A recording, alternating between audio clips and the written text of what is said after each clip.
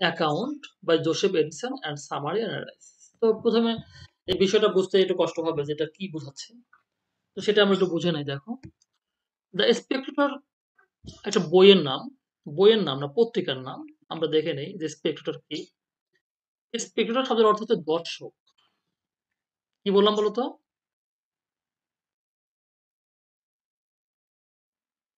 Spectator শব্দের অর্থ হচ্ছে দর্শক। ঠিক আছে? তো আমরা দেখছি এই দর্শক নাম, যেমন আমাদের দেশে পত্রিকার নাম আছে প্রথম আলো, পত্রিকার নাম আছে বিচিত্রা, পত্রিকার নাম আছে কিশোর আলো।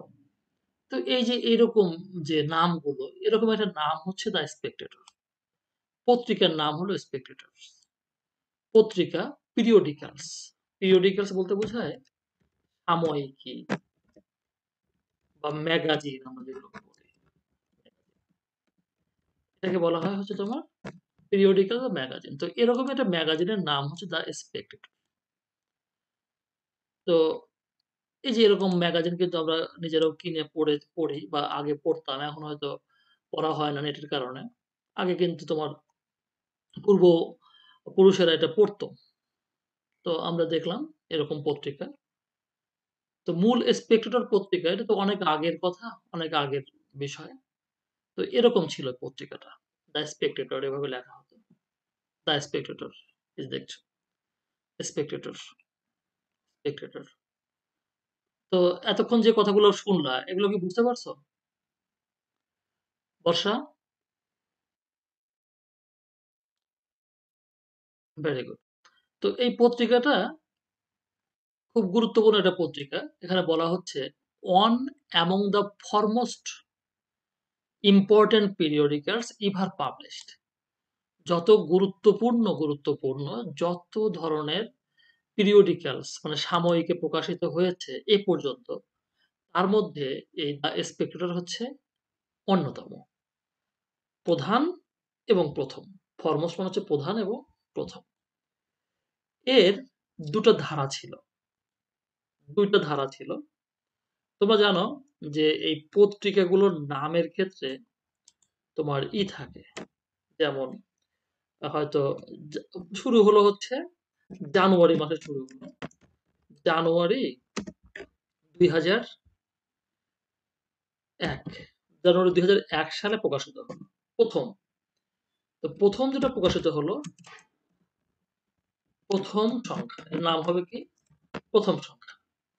তাহলে জানুয়ারি দুই হাজার একে যদি প্রথম সংখ্যা হয়, তাহলে জানুয়ারি দুই হাজার দুই জানুয়ারি, ফেব্রুয়ারিতে হয়ে যাবে কি? বলতো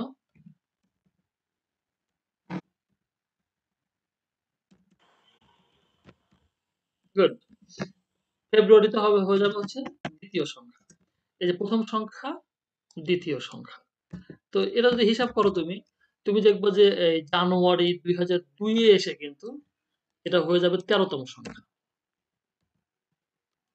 জানুয়ারি দুই হাজার দুইয়ে এসে হয়ে যাবে এটা তেরোতম সংখ্যা। আমার কথা বলে বুঝতে পারছ, নাকি বোঝো নাই? জানুয়ারি দুই হাজার তিনে এসে হয়ে যাবে এটা হ্যাঁ এটা তিনে এসে হয়ে যাবে হচ্ছে হচ্ছে পঁচিশতম, কততম? পঁচিশতম সংখ্যা হয়ে যাবে, ঠিক আছে? তো আমরা এটা বুঝলাম।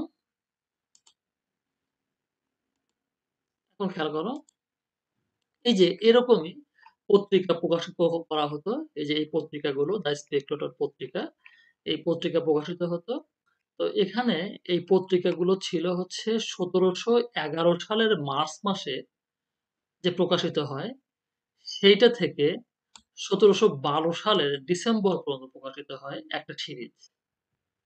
সিরিজ তো বুঝতেই পারছ মানে একের পর এক শুরু হয়, প্রকাশিত হয়, এবং for a complete of six thirty five issue তার মানে এই সময়ে প্রকাশিত হতে, হয়েছে হলো ছয়শো পঁয়ত্রিশটা পত্রিকা, কতগুলো?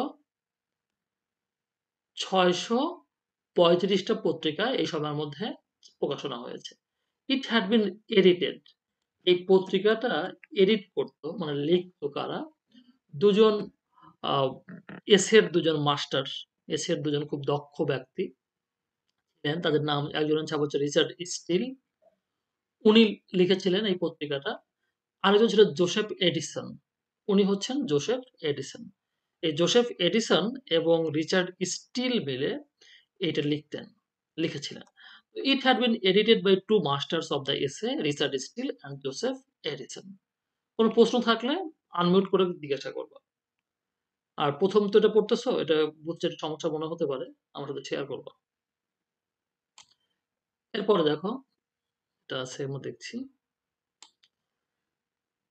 For the foremost part, Richard Steele wrote the Richard Steele wrote the primary series of ৫৫০ issues. তার মানে পাঁচশো পঞ্চান্নটাতে এই যে ৬৩৫ টা দেখলাম আমরা দেখো এখানে কতগুলো দেখলাম ৬৩৫ টা এই ছয়শো পঁয়ত্রিশটা প্রকাশনার মধ্যে প্রথম যেগুলো লেখা হয়েছিল, সেই পঞ্চান্নটাতে লিখেছিল হচ্ছে স্টিল, রিচার্ড স্টিল এবং জোসেফ এডিসন লিখেছিলেন ৭৯ টাতে 79 এ অ্যাজ এ পিরিয়ডিক্যাল এবং একটি সাময়িক হিসাবে পিরিয়ডিক্যাল মানে আমরা জেনেছি অলরেডি যেটা সাময়িক বা পত্রিকা, সাময়িকী বা পত্রিকা। পত্রিকা হিসাবে it resembled most eighteenth century London newspaper in size and layout layout মানে হচ্ছে নকশা। তো পত্রিকা হিসাবে পত্রিকা যেমন হয়ে থাকে, ওই সময় লন্ডনের যে পত্রিকাগুলোর সাইজ ছিল, যেমন যেমন নকশা ছিল, যেমন ডিজাইন ছিল, সেই রকম ডিজাইনই ব্যবহার করেছিল এই পত্রিকাটা, যার নাম ছিল দ্য এসপেক্ট কোনো প্রশ্ন থাকলে জিজ্ঞাসা করব, কারণ আমি খুব সহজ কথাগুলো বলে যাচ্ছি এবং এখানে এক্সাম্পলও দেখাচ্ছি। তারপর সমস্যাটা জিজ্ঞাসা করব। এরপরে আমরা আরও একটা পত্রিকার নাম দেখব। সেই পত্রিকার নাম নাম হচ্ছে দ্য ট্যাটলার। আমরা মূলত কিন্তু পড়ব দ্য স্পেক্টেটর কিন্তু ট্যাটলার নামটা আসবে, কেন আসবে? কারণ এই ট্যাটলার পত্রিকা, ট্যাটলার পত্রিকাটা এই স্টিল প্রকাশ করতেন। Although the editorship was anonymous anonymous মানে হচ্ছে বেনামি। বেনামি। তার মানে এই যে পত্রিকাটা দ্য স্পেক্টর পত্রিকাটা কে প্রকাশ করত, কে এডিট করত, এটা জানা যেত না। কারা এডিটর এডিট করছে। মেনি রিডার্স বিলিভড অনেক পাঠকেরা বিশ্বাস করতো যে the author was Richard Steele. ভাবতো যে এটা লিখছেন আসলে রিচার্ড স্টিল এটা লিখেছিলেন রিচার্ড স্টিল আমরা দেখে আসি একটু? এই যে রিচার্ড স্টিল উনি লিখেছিলেন বলে পাঠকেরা বিশ্বাস করতেন। কিন্তু ওখানে লেখা হতো না যে এটা কার লেখা। যেমন আমরা এক সময় একটা পত্রিকা দেখতাম, ওই পত্রিকার নাম ছিল হচ্ছে গেদু চাচার ডায়েরি, এরকম নাম ছিল। তো সেটা কে লিখতো কখনো? নাম জানতাম না এটা কি। Who had just been involved in another periodical এবং তিনি আরও একটি পিরিয়ডিক্যালে উনি লিখেছেন ডকুমেন্ট দিয়েছেন। সেটার নাম ছিল দ্য ট্যাটলার এই যে সেই ট্যাটলার তার মানে উনি এই ট্যাটলার পত্রিকার সম্পাদক ছিলেন এবং লোকেরা এই জন্য বিশ্বাস করতো যে যিনি ট্যাটলার করছেন তিনি স্পেকটেটরও করছেন কারণ দুটো একই রকম। আমরা এখন দেখব স্টিল অ্যান্ড এডিশন একটু আগে দেখে আসলাম স্টিল এবং এডিশনকে দেখে আসলাম। এই যে রিচার্ড স্টিল আর উনি হচ্ছে জোসেফ এডিসন তো এই দুজন মিলে কি করলেন দুজন মিলে কম্প্রাইজ দ্য মেইন রাইটার্স এরাই প্রধান রাইটার বা এডিটর ছিলেন but several issues are written by others কিন্তু বেশ কিছু প্রকাশনা অন্যরাও লিখেছিলেন। ওনারা বাদ দিয়েও অন্য কেউ লিখেছিলেন। All of whom were related to the coffee house culture তোমরা জানো যে ওই সময় একটি শিক্ষিত সমাজ গড়ে উঠেছিল, যে শিক্ষিত সমাজরা একই এক মানে একসঙ্গে আড্ডা দিত, তারা বিভিন্ন ধরনের কথাবার্তা বলতো। বিভিন্ন ধরনের আলোচনা করতো, সাহিত্য বা জ্ঞান গরিমা সম্পর্কে। তো এই মানুষগুলোকে একসাথে বলা হতো কফি হাউসের মানুষ এবং এই কালচারটাকে বলা হতো coffee house culture eighteen century London literati লন্ডনের শিক্ষিত শ্রেণির লোকেরা এই কফি হাউস কালচার থাকতো এবং তারা এই লিখেছিল এই পত্রিকাতে।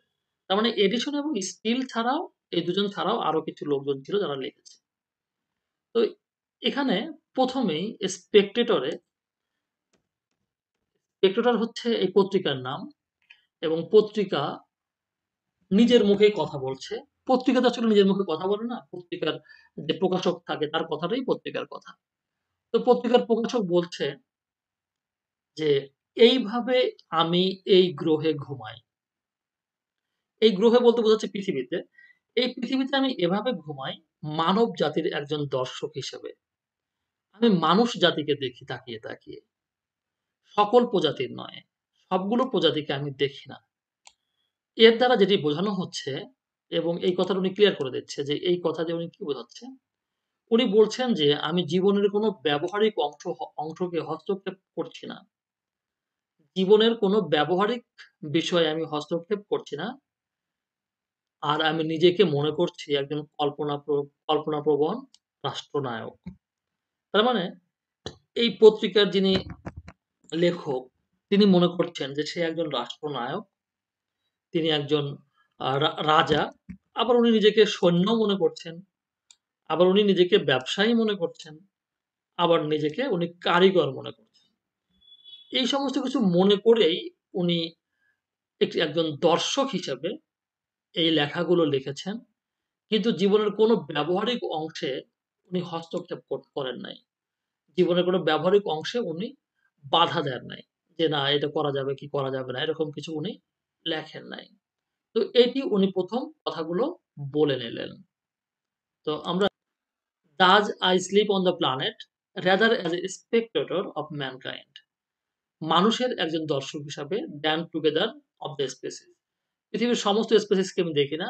"By which suggest I" আমি এর দ্বারা যেটা বোঝাতে চাচ্ছি even made a speculative statesman" আমি একজন কল্পনা শক্তিওয়ালা রাষ্ট্রনায়ক হয়েছি, একজন সৈন্য, একজন ব্যবসায়ী এবং একজন কারিগর। Without ever meddling any practical part in life" জীবনের কোনো প্র্যাকটিক্যাল অংশে আমি কখনো হস্তক্ষেপ করব না। বিষয়টা তিনি ব্যাখ্যা করছেন আরও। আরও ব্যাখ্যা করে বলছেন যে তিনি মূলত খুব কাজের। খুব কাজের মানে হচ্ছে যে উনি সবকিছুই খুব ভালো বোঝেন। সবকিছু উনি খুব ভালো পারেন। এটা উনি বলছেন। তার বাস্তব অভিজ্ঞতার অভাব আছে।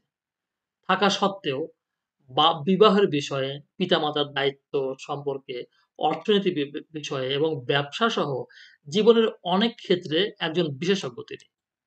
তিনি বলছেন যে, "না আমি অ্যাকচুয়ালি অ্যা তেমন কেউ না। কিন্তু আমি এগুলো খুবই ভালো বুঝি। আমার অভিজ্ঞতা না থাকলেও, কম অভিজ্ঞতা থাকলেও আমি এগুলো খুবই ভালো বুঝি। এমনকি যারা এই বিষয়ে বিশেষজ্ঞ তাদের চেয়েও আমি ভালো জানি।" যারা এই বিষয়ে বিশেষজ্ঞ যেমন অর্থনীতিতে একজন বিশেষজ্ঞ থাকে, অর্থমন্ত্রী বা অর্থ সচিব তার চাইতেও আমি ভালো বুঝি। ব্যবসায় অনেক বড় ব্যবসায়ী থাকতে পারে। তার চাইতেও আমি বিষয়ে ভালো বুঝি। এটা উনি বলছেন। তবে পত্রিকাটা মূলত এই বিষয়গুলো বলবে। He goes on to elucidate that উনি এটাকে ব্যাখ্যা করে বলছেন যে হি ইজ ভার্চুয়াল ভার্চুয়াল মানে হচ্ছে মূলত কাজ করে সেই, কিন্তু বাইরে থেকে দেখা যায় না। তাকে বলা হয় ভার্চুয়াল। ভার্চুয়াল মানে হচ্ছে যে কাজ করে ঠিক আছে, কিন্তু বাইরে থেকে অতটা বোঝা যায় না যে কাজ করছে। তাকে বলা হয় ভার্চুয়াল। ঠিক আছে? Despite his lack of practical experience তার প্র্যাকটিক্যাল এক্সপেরিয়েন্স অভাব থাকা সত্ত্বেও an expert in many walks of life জীবনের বিভিন্ন দিক ক্ষেত্রে উনি কিন্তু এক্সপার্ট ইনক্লুডিং ম্যারেজ সেই ক্ষেত্রগুলোর মধ্যে আছে হচ্ছে বিয়ে, parenthood, economics and business. All of which he knows better than those এই বিষয়গুলোতে উনি তাদের চাইতেও ভালো বোঝেন যাদের দ্যাট মানে যাদের অভিজ্ঞতা আছে এই বিষয়গুলোতে। তাদের চাইতে উনি ভালো বোঝেন। সংক্ষেপে তিনি একজন বহু কাজের কাজী। এমন একজন ব্যক্তি যিনি সবকিছু সম্পর্কে খুব ভালো জানেন। In short he is a polymath. Polymath মানে হচ্ছে সব কাজের কাজী। An individual who knows an excellent deal about everything. যে যেকোনো বিষয় সম্পর্কে খুব ভালো করে জানে। তো উনি যেই কথাগুলো বললেন সেই অঙ্গীকার অনুযায়ী তিনি তার পত্রিকাতেও লেখাগুলো সেভাবেই ছাপিয়েছেন বা প্রকাশ করেছেন। তার পত্রিকাতে কি, এসেছে দেখো? সাহিত্যকর্ম এসেছে, লেখক এসেছে, নৈতিক বিষয় এসেছে, রাজনীতি এসেছে, সামাজিক আচরণ এসেছে এবং বিভিন্ন চরিত্রের বর্ণনা সম্পর্কে এখানে গল্প মানে এসে লেখা হয়েছে। তার মানে এই পত্রিকাতে যে বিষয়গুলো এসেছে তার মধ্যে সাহিত্যকর্ম, বিভিন্ন লেখক, নৈতিক বিষয়, রাজনীতি, সামাজিক আচরণ এবং বিভিন্ন চরিত্রের বর্ণনা। এই সম্পর্কে বিভিন্ন ধরনের প্রবন্ধ লেখা হতো এবং মন্তব্য করা হতো। দ্য স্পেকটেটর পত্রিকা। যদিও জাগতিক কিন্তু খুব মজার বিষয় নিয়ে আলোচনা হয়েছে। জাগতিক বিষয় নিয়ে আলোচনা হয়েছে, মানে প্রয়োজনীয় বিষয় নিয়ে এবং মজার বিষয় নিয়ে আলোচনা করা হয়েছে। এমনকি মহিলাদের হুপ স্কার্ট নিয়ে এবং মহিলাদের চুলের স্টাইল নিয়েও আলোচনা করা হয়েছে। কি? সঙ্গে আছো সবাই?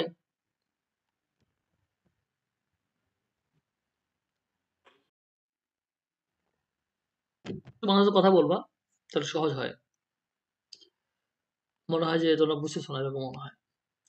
ট্রু টু ইটস প্রমিস আমরা আবার ইংলিশে দেখে নেই। তার যে প্রমিস করেছিল the Spectator contents articles Spectator পত্রিকায় সেই সমস্ত প্রবন্ধগুলো ছাপা হতো এবং সেই সমস্ত মন্তব্যগুলো থাকতো অ্যাবাউট লিটারেরি ওয়ার্ডস সাহিত্যকর্ম সম্পর্কে। লেখকদের সম্পর্কে। আর লিটারেরি ওয়ার্ডসগুলো ছিল হচ্ছে এডিশনের লেখা গুলো নিয়ে লেখা হতো। নৈতিক বিষয়গুলো থাকতো, রাজনীতি থাকতো, সামাজিক আচরণ থাকতো। এই দেখো আমরা এগুলো দেখেছিলাম কিন্তু এগুলো। সামাজিক আচরণ, রাজনীতি, চরিত্রের বর্ণনা। ক্যারেক্টার স্কেচেস চরিত্রের বর্ণনা থাকতো এবং যদিও এগুলো খুব বেশি পার্থিব বিষয় নিয়ে আলোচনা করা হতো, তারপরেও খুব মজার ছিল। কারণ এই টপিক গুলোতে মেয়েদের হুপ স্কার্ট নিয়েও কথা বলা হতো এবং হেয়ার স্টাইল নিয়েও কথা বলা হতো। লন্ডনের সমাজ বা রাজনীতির মধ্যে কোনো কিছুই এই দুই লেখকের দৃষ্টির বাইরে যেতে পারেনি।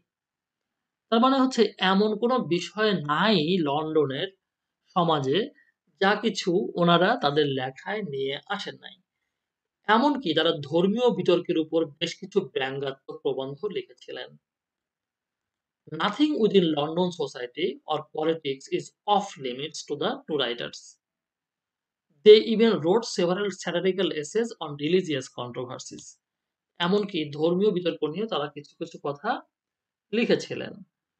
অনেক পণ্ডিত মনে করেন যে দ্য স্পেক্টেটর সামগ্রিকভাবে জীবনের সব স্তরের বর্তমান আচরণকে মৃদুভাবে ব্যঙ্গ করেছে। স্পেক্টেটর পত্রিকায় যেটা করা হয়েছে বিভিন্ন স্তরের মানুষ আছে। নিম্ন শ্রেণি, উচ্চ শ্রেণি, মধ্যবিত্ত, উচ্চ মধ্যবিত্ত, নিম্ন মধ্যবিত্ত, কৃষক, শ্রমিক, ভদ্রলোক এই সবাইকেই মৃদুভাবে কি করা হয়েছে? ব্যঙ্গ করা হয়েছে। তার লক্ষ্য ছিল সেই আচরণের সংশোধন। এবং এই স্পেক্ট্রেটর পত্রিকার উদ্দেশ্য ছিল যে এই যে মানুষগুলোর মধ্যে যে আচরণগুলো আছে, কিছু আচরণের সমস্যা মনে হচ্ছে তার, সেই আচরণগুলো সংশোধন করা ছিল হচ্ছে স্পেক্ট্রেটরের লক্ষ্য।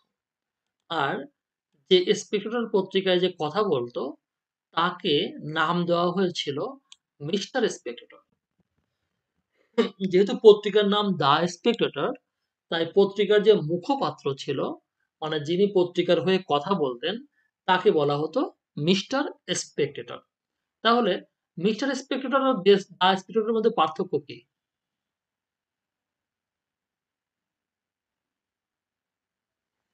বলো তো? হ্যালো? মিস্টার বলতে? মিস্টার বলতে ব্যক্তিকে বোঝানো হয়েছে। আর হ্যাঁ, হ্যাঁ, হ্যাঁ। আর স্পেক্ট্রেটর দ্য স্পেক্ট্রেটর বলতে পত্রিকাকে বোঝানো হয়েছে। আর মিস্টার স্পেক্ট্রেটর বলতে বোঝাচ্ছে যে পত্রিকার হয়ে কথা বলছেন তাকে বলা হচ্ছে। একজন ব্যক্তিকে। ঠিক আছে? তাহলে as many scholars have observed the spectator seems overall to aim toward gently satirizing. Gently মানে খুব ভদ্রভাবে মৃদুভাবে satirize করেছে। বিদ্রূপ করেছে current behaviour of all walks of life.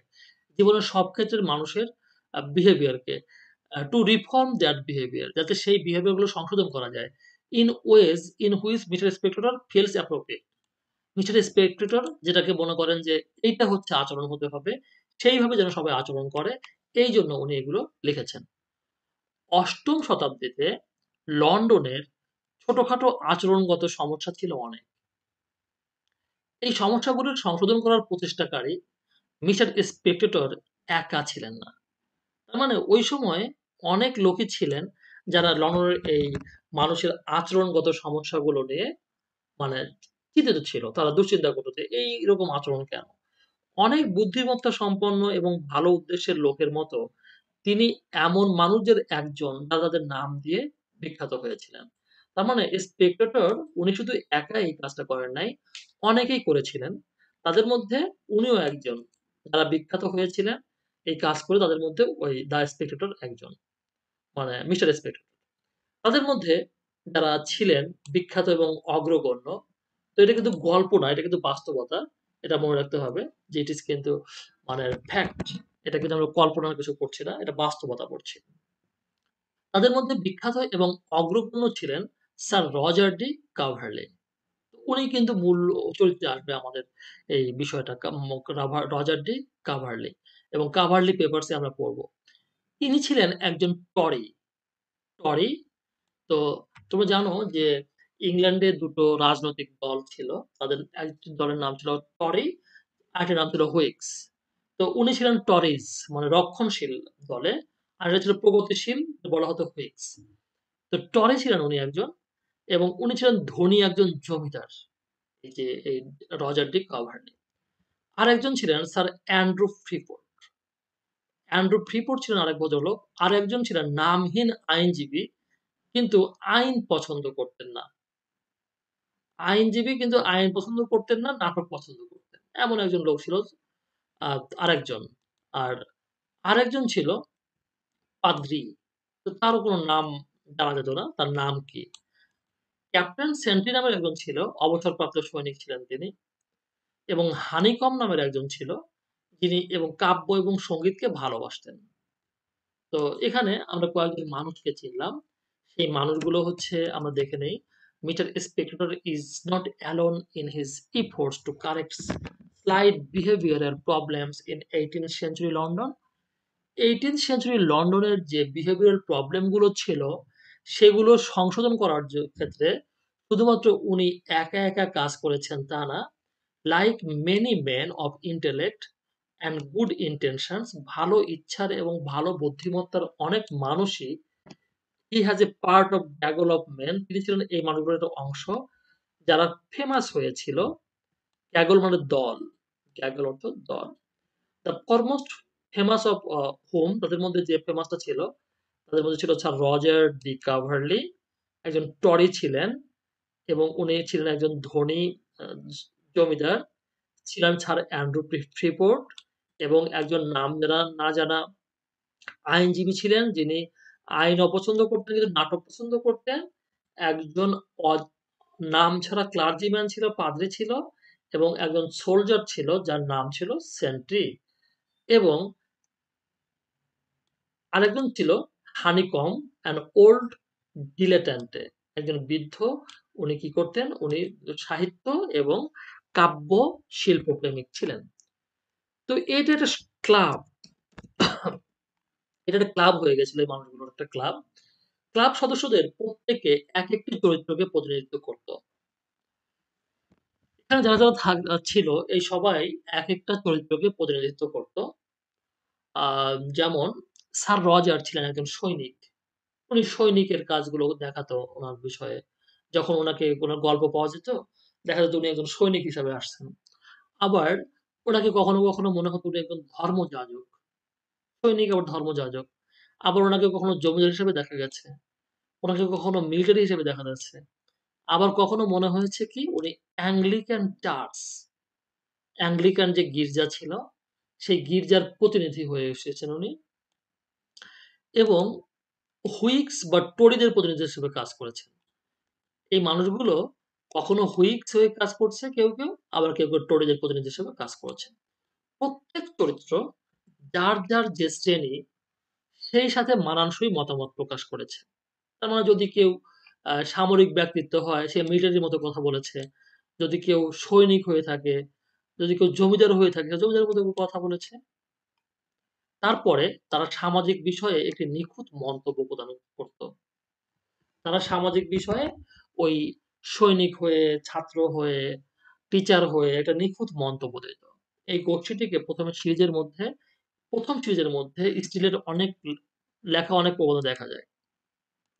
এই মানুষগুলোকে ১ম এ দেখা যায় স্টিলের প্রবন্ধগুলোতে। কিন্তু এডিশনের দ্বিতীয় সিরিজে এদেরকে দেখা যায় না। এই যে আমরা লোকগুলোকে দেখলাম, এদেরকে স্টিলের যে পাঁচশো পঞ্চান্নটা আছে সেখানে দেখা যায়। কিন্তু আ এডিসনের যে ৭৯ টা আছে সেখানে দেখা যায় না। Each of the club members can be a character type. তারা ক্যারেক্টার টাইপ ছিল soldier, clergyman, Sir Roger, who represent the land owning gentry, military, Anglican church, Whigs or Tories. All express the quality, views of their class and station. Then provide the reader with a well-rounded commentary on social matters. সামাজিক বিষয়ে তারা খুব গুরুত্বপূর্ণ তথ্য দিত। This group mm, appears in many of these essays written by Steele within the first series but not in the edition second series. এডিশনের second সিরিজে পাওয়া যায়নি কিন্তু স্টিলের প্রথম সিরিজে পাওয়া গিয়েছিল। Of Steele and Edison's work and its influence on 18th century British letters and literature is summed up in Samuel Johnson's comments. ঠিক আছে? তো মোটামুটি এটুকুই ছিল আমাদের বিষয়গুলো। আর এখানে কিছু কমেন্ট আছে স্যামুয়েল জনসনের। তো এগুলো আমাদের দরকার হবে না। এগুলো না হলেও চলবে। তো সো লং যেটুকু পড়লা, কি বোঝো নাই আমাকে একটু বলো স্যার এগুলো বুঝি নাই।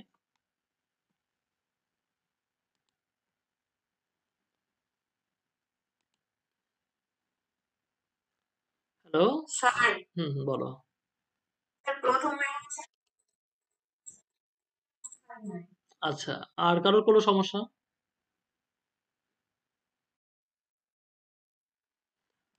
মোটামুটি এটা বুঝছ তাই না? নাম কি বলে? মৃণাল বুঝছ না? হ্যাঁ, হ্যাঁ বলো।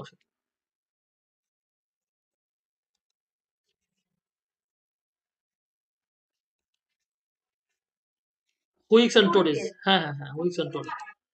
ওই যে বললাম তোমাকে হুইগস হচ্ছে ইংল্যান্ডের একটা দলের নাম।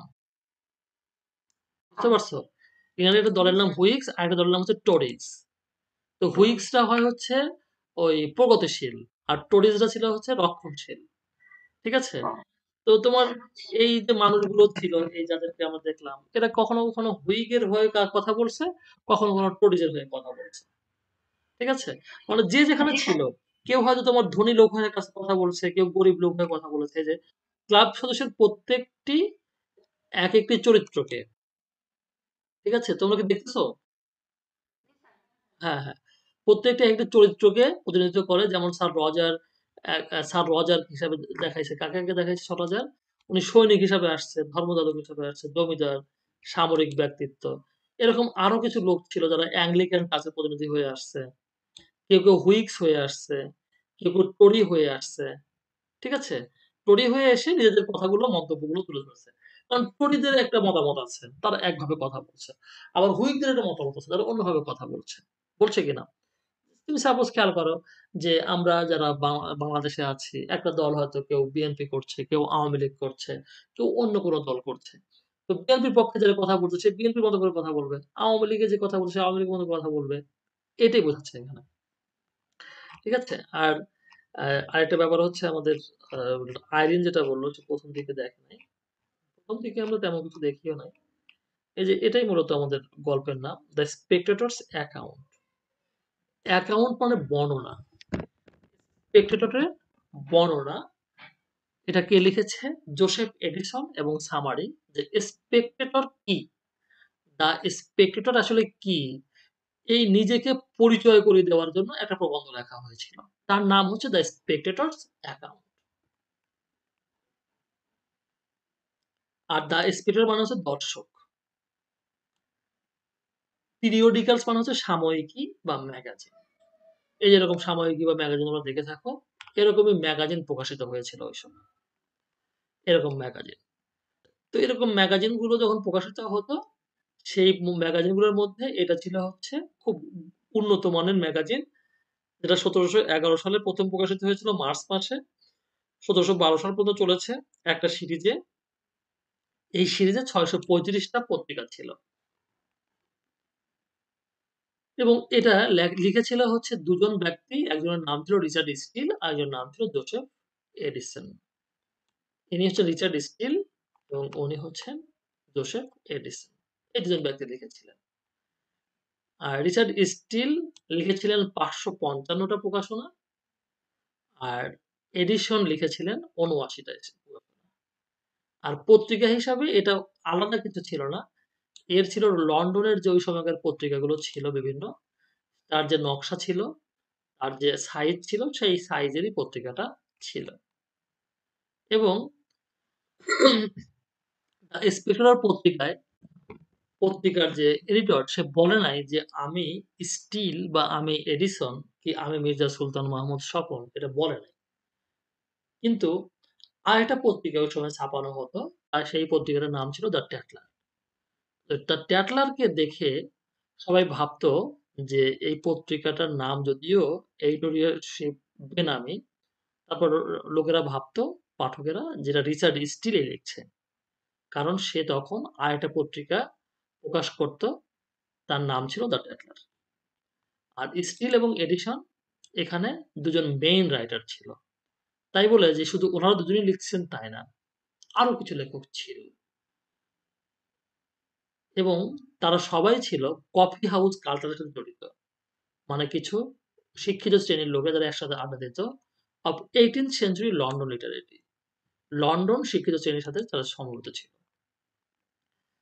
তো উনি প্রথমে বলছে, নিজেকে পরিচয় করিয়ে দিচ্ছে যে, "এইভাবে আমি এই গ্রহে ঘুমাই। আমি ঘুমাই এবং আমি স্বপ্ন দেখি বা আমি জেগে দেখি। আমি একজন মানবজাতির দর্শক হিসাবে দেখি। আমি একজন দর্শক যে, কিন্তু কিসের দর্শক? মানব জাতির দর্শক। আমি কিন্তু অ্যামিবাকে দেখি না, আমি গরুকে দেখি না, আমি হাতিকে দেখি না। আমি মানব জাতিকে দেখি। এর দ্বারা যেটি বোঝানো হয়েছে, উনি নিজেকে ক্লিয়ার করতে যে, আমি জীবনে কোনো ব্যবহারিক অংশে হস্তক্ষেপ করি না। কিন্তু আমি নিজেকে কাল্পনিকভাবে রাষ্ট্রনায়ক মনে করি, সৈন্য মনে করি, বণিক মনে করি এবং কারিগর মনে করি।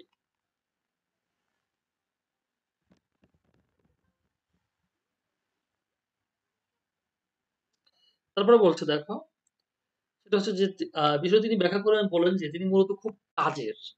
নিজেকেই বলছেন উনি খুব কাজের। তার বাস্তব অভিজ্ঞতার অভাব আছে। কিন্তু বিয়ে সম্পর্কে পিতামাতার দায়িত্ব, অর্থনীতি, ব্যবসা সহ জীবনের সব ক্ষেত্রে উনি একজন বিশেষজ্ঞ। এমনকি এই সমস্ত বিষয়ে যারা বিশেষজ্ঞ, তাদের চাইতে উনি ভালো জানেন। এই কথাটা উনি বলছেন। তারপর বলছেন যে, দ্যাট হি ইজ ভার্চুয়াল। তিনি ভার্চুয়াল। ভার্চুয়াল বলতে হচ্ছে কাকে বোঝায়? যেমন আমরা জানি যে, কারও, কারও নাম হয় আর কেউ, কেউ কাজ করে। তো যার নাম হয় সে কিন্তু সবসময় কাজ করে না। তো তাকেই বলা হয় ভার্চুয়াল যে মূলত কাজটা করে। উনি বলছেন যে, "আমি আসলে ভার্চুয়াল। কাজটা আমি করি।" ঠিক আছে? সংক্ষেপে তিনি একজন বহু কাজের কাজে এমন একজন ব্যক্তি যিনি সবকিছু সম্পর্কে খুবই ভালো জানেন। তবে বলা হচ্ছে যে, সেই অঙ্গীকার অনুযায়ী সাহিত্যকর্ম, লেখক, নৈতিক বিষয়, রাজনীতি, সামাজিক আচরণ, চরিত্রের বর্ণনা সম্পর্কে নিবন্ধ এবং মন্তব্য রয়েছে দ্য স্পেক্টাটর পত্রিকায়। যদিও জাগতিক কিন্তু খুব মজার বিষয় নিয়ে আলোচনা হয়েছে। এমনকি মহিলাদের হুপ স্কার্ট বা চুলের স্টাইলও এসেছে। মানে লন্ডনের এমন কোনো বিষয় নাই, সমস্যা নাই যেগুলো এখানে আসে নাই। লন্ডন সমাজের রাজনীতির মধ্যে কোনো কিছুই এই দুই লেখকের দৃষ্টি বাড়িয়ে দিতে পারেনি। এমনকি তার ধর্মীয় বিতর্কের উপর বেশ কিছু ব্যঙ্গাত্মক প্রবন্ধ লিখেছেন এবং ধর্ম নিয়েও আসছেন উনারা। উনি বলছেন যে, এই পত্রিকাটা মূলত যেটা করেছে মানুষের আচরণকে মৃদুভাবে ব্যঙ্গ করেছে এবং উদ্দেশ্য ছিল যেন তাদের আচরণটা কি হয়? সংশোধন হয়। মিস্টার স্পেক্টেটর একটা উপযুক্ত আচরণ উনি ভাবতেন যে, এইভাবে মানুষের আচরণ করা যায় করা উচিত। এবং চাইতেন যে সবাই সেটাকে অনুসরণ করুক। এবং শতাব্দীর লন্ডনে ছোটখাটো আচরণগত সমস্যাগুলো সংশোধন করার প্রচেষ্টায় শুধু মিস্টার স্পেক্টেটরও ছিলেন না। অনেক বুদ্ধিমত্তা সম্পন্ন ভালো উদ্দেশ্যের লোকের মতো তিনিও একজন ছিলেন। তিনি তাদের মতো বিখ্যাত হয়েছিলেন। তাদের মধ্যে যারা ছিলেন, তারা ছিলেন হচ্ছে রজার ডি কাভারলি। উনি একজন টরি ছিলেন, ধনী জমিদার ছিলেন। আর একজন ছিলেন অ্যান্ড্রু ফ্রিফোর্ড। আর আরও একজন ছিলেন, তার নাম জানা যায় না। কিন্তু উনি আইনজীবী ছিলেন। আইন পছন্দ করতেন, নাটক পছন্দ করতেন। আরেকজন ছিলেন পাদ্রী কিন্তু নাম ছিল না। আরেকজন ছিলেন ক্যাপ্টেন সেন্ট্রি নামের অবসরপ্রাপ্ত সৈনিক। একজন ছিলেন হানিকম, তিনি কাব্য সঙ্গীতকে পছন্দ করতেন। এরপরে বলা হচ্ছে যে, ক্লাব সদস্যের প্রত্যেকেই একেকটি চরিত্রের প্রতিনিধিত্ব করত। যেমন কেউ সৈনিক হতো, কেউ ধর্মযাজকের কাজ করত, জমিদার, সামরিক ব্যক্তিত্ব, কেউ, কেউ অ্যাংলিকান চার্চের প্রতিনিধি হয়ে আসতো, কেউ হুইগসের প্রতিনিধি হয়ে আসতো, কেউ টোরিদের প্রতিনিধি হয়ে। প্রত্যেক চরিত্রই যখন যে যেখানে চরিত্র কাজ করত, সেই শ্রেণির সাথে মানানসই মতামত প্রকাশ করত। তারপর তো সামাজিক বিষয়ে একটি নিখুঁত মন্তব্য প্রদান করত। এই গোষ্ঠীটিকে প্রথম সিরিজের মধ্যে স্টিলের লেখা অনেক প্রবন্ধ দেখা যায়। কিন্তু এডিসনের ২য় সিরিজে তাদেরকে দেখা যায় এই আমাদের গল্প। ঠিক আছে? তো আরেকটা ধরতে পারলাম না আজকে ভাবছিলাম দুটো শেষ করতে পারব তোমরা দেরি করছ আর পরে আসছো। নিচে আমি গেলাম তোরা কেউই আসব না যখন আসব না একটু জানায় দিবা। তাহলে আমি উপরে থাকতে পারি। নিচে গিয়ে একা, একা, একে বসে থাকলে কি করব বলো?